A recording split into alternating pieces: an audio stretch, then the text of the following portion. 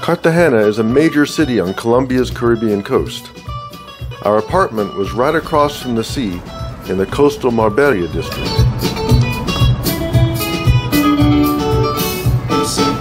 The building was fortunately always breezy because Cartagena is hot and humid all year round. There were several beaches within easy walking distance, all with shelters and chairs available to rent for a few US dollars per day. The wind and surf were always high on our side of the coast, but the red flag warnings didn't keep families from enjoying the surf and the clear blue skies. The Marbella district has many new high-rise condos and hotels. Our building was a significantly older low-rise, but it was the only place in our budget. Rates in general were much higher in Cartagena than we'd expected. A big reason being the perceived safety due to high crime and 30% poverty in the city. From the information we could find, safe zones were only in the expensive high tourist areas. Some adjacent districts were deemed not safe at night, and most of the city wasn't considered safe for tourists at all. And our building security confirmed that. Our area did have several good and affordable restaurants with different views of the water.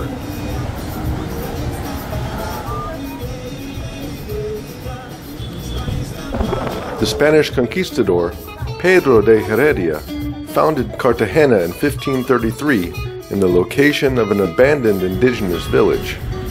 The town was named Cartagena de Indias after the Spanish port city of Cartagena, where most of Heredia's sailors hailed from.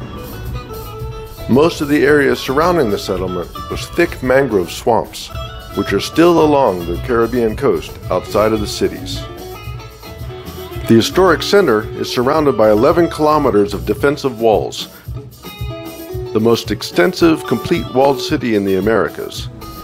Expanded over two centuries, the walls and the hilltop San Felipe de Barajas castle were needed to protect the city from continual pirate attacks. As the primary port for exporting gold and silver from the Andes Mountains in Colombia and Peru, Cartagena was one of the richest cities and most sought after prizes in the Spanish Empire. Precious metals and other trade goods passed through Cartagena's Plaza de la Aduana.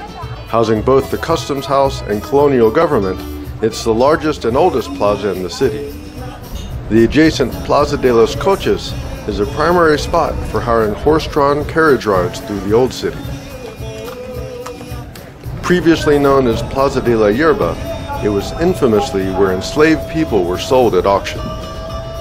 As in all Colombian cities, Plaza de Bolivar is the heart of Cartagena, with its statue of Simón Bolívar, the father of Colombian independence.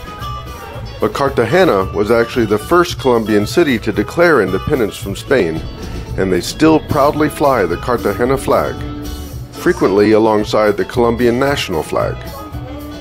Many Spanish influences remain since independence, like Catholicism. Historic churches still hold regular masses, in Spanish, of course.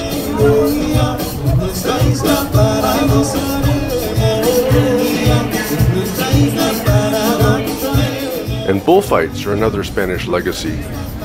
Events still held in Cartagena, but the original bullfight ring is now attached to a high-end shopping mall and has been beautifully upgraded.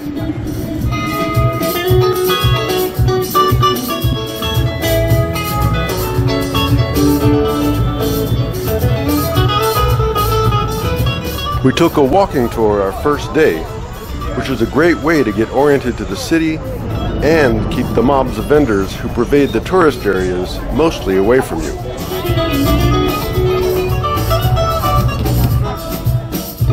The tour went through a park outside the walled city, and a gardener showed our guide where to spot some of the local wildlife, including a couple sloths.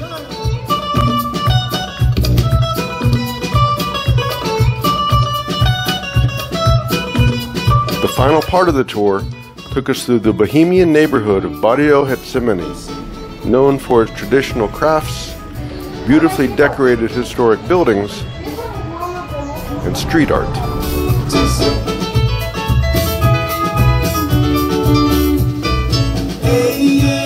And Gethsemane is the place to be in Cartagena at night.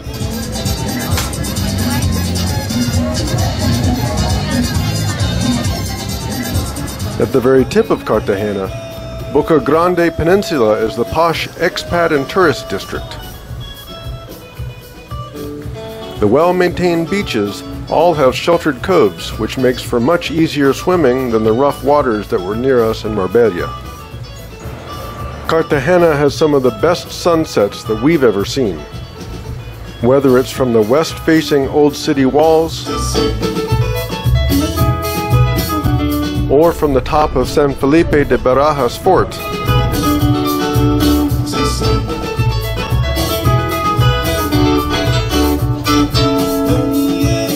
The ones we saw were nothing short of spectacular. But one of the best ways to see the sunset is to take a cruise from the old city port.